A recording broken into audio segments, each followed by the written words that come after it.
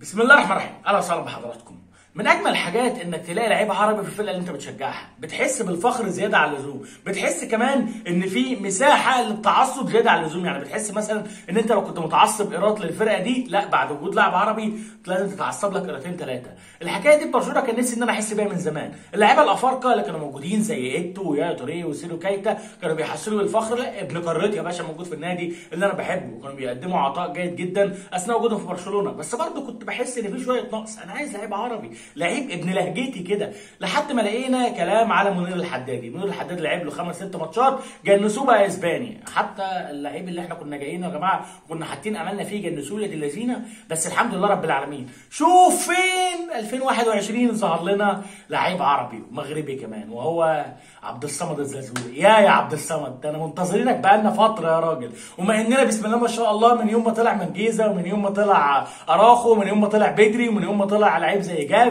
ونيكو وإحنا قاعدين أي حاجة تطلع من اللمسية اديها طابع الكتالوني اديها طابع إن إحنا بالصلاة على النبي كده بنطلع مواهب للعالم ده كله كل الناس تقعد تركز معاها. فلما عبد الصمد يجي لا إحنا محتاجين نديله يا باشا اللي هو يستحقه لأن إحنا شفنا إن جافي وبدري ونيكو وأروخو بياخدوا حاجات أكتر بكتير جدا. فلا يا باشا لما أنا أقرر إن أنا أدي الشابوه وأدي الشوت أوت للعيب المغربي ما تقوليش إن أنا بطبل. لا لا لا أنت حضرت الإعلام الإسباني بيعمل إيه؟ مع اللعيبة بتاعت بتاعت برشلونة اللي طالعة من لمسيه وصولها أسبان. لا يا باشا. كانوا بيتكلموا على توقيع بدري العظيم وكانوا بيتكلموا على العظمه اللي بيقدمها نيكو. فلما لعيب عربي يطلع زي عبد الصمد ولما لعيب زي إلياس أخوماش يكون موجود معاك وناس بيتقال عليها إن هي جواهر وناس بيتقال عليها إن هي مستوى برشلونة فلا يا باشا. اديهم ال vibe اللي أنت عايزه. واقعد طبل للصبح يا باشا وعلى حق يا باشا بالصلاة على النبي. لأن عبد الصمد امبارح ما نضمش بالنسبة لي. مش ما نضمش بالنسبة لي أنا بس. ده بالنسبة لسوفا سكور وبالنسبة لأي موقع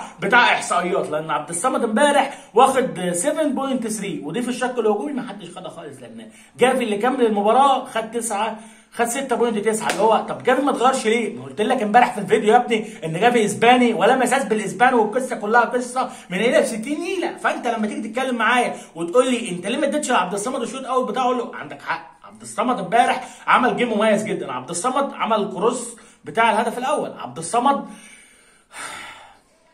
عبد الصمد امبارح يا جماعة كان في أول خمس دقايق كان قادر إن هو يسجل لولا العارضة. كان نفسي بصراحة عبد الصمد يسجل عشان خاطر الإعلام الإسباني يحس بيه. بس بصراحة سبورت حست بيه وقالت إن هو عمل فرق وعمل طفرة. يا يا أخي لعيب half بيعدي واحد على واحد. يا ده أنا أعرف جافي موجود الناحية الثانية بسم الله ما شاء الله بياخد الكرة من هنا يوديها هنا ولا إيه؟ بدري في نفسه. والإعلام الإسباني عايز يقنعني إن بدري ممكن يتباع لبايرن ميونخ ب 80 مليون. فلا يا باشا عبد الصمد يتباع لأي حد ب 100 مليون و200 مليون وكمان خد الجديدة من عندنا. عبد الصمد يا باشا هو بديل ميسي الشرعي. ودي حاجة بقى تقبلها وتقبل براحتك بقى. عبد الصمد بالنسبة لنا بديل ميسي الشرعي. بيلعب ناحية اليمين ما بيلعبش ناحية اليمين؟ طالع من لمسية ولا مش طالع من لمسية؟ مش طالع من لمسية جايبينه من فرق درجه ثانية نعتبره طالع من لمسية. ابننا يا باشا وبنطبله لو عندك مانع يبقى المشكلة عندك انت يا باشا. انما أنا أنا مرضي ومبسوط جدا باللي تشافي بيعمله خصوصا إن هو أركانه معتمدة على اثنين مغاربة سواء عبد الصمد أو إلياس. وأتمنى إن تشافي يبص لنا نظرة كده تحت يطلع لنا فروه تايه في لمسية ونطلعه عشان خلاص يعني الموضوع بالنسبة لدبي خلاص جاب آخره. ومعلش يا عم تشافي والنبي هنتعبك دور معانا تحت بس يعني دور معانا تحت عشان نحس إن انت عملت حاجة ما عملهاش غيرك وما عملهاش اللي قبلك. نيكو وجافي وبدري دول مطلعهم كوم بصراحه يعني. فأنا بتمناك تحاول كده تطلع لنا حاجة كده زي عبد الصمد بس forward حاجة زي إلياس بس forward نتمناك حتى تحط إلياس نفسه forward يعني ما فيهاش أي مشكلة. بس نتمنى إن الإخوة العرب يدوا الحق الطبيعي للعيب بيلعب في برشلونة وبيتقال عليه إن هو واحد من جواهر برشلونة وكمان بيتقال على واحد زي إلياس إن هو خليفة ميسي الشرعي في برشلونة. فلما إحنا نطلع نتكلم عليهم كلام إيجابي ما تقوليش بتطبل لأن أنت لو شفت الإعلام الإسباني بيتكلم إزاي على الاعلام الاسبان قسما بالله لا تقول لي انت غلبان يا ابني. بس هنعمل إيه يا اسطى؟ ما تتفرجش انت على الاعلام الإسباني.